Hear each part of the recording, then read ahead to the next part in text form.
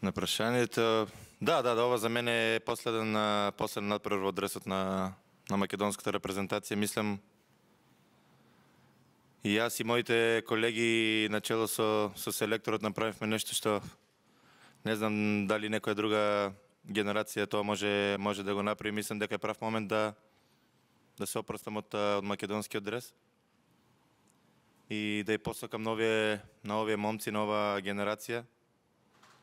да се пласира на на светско првенство и мислам дека оваа генерација може во следните години да ни донесе многу многу радости не само на мене, туку и на цела македонска на македонска јавност бидејќи се работи за квалитетни играчи, играчи што играат во големи тимови и мислам дека заслужуваат да играте на, на едно светско првенство.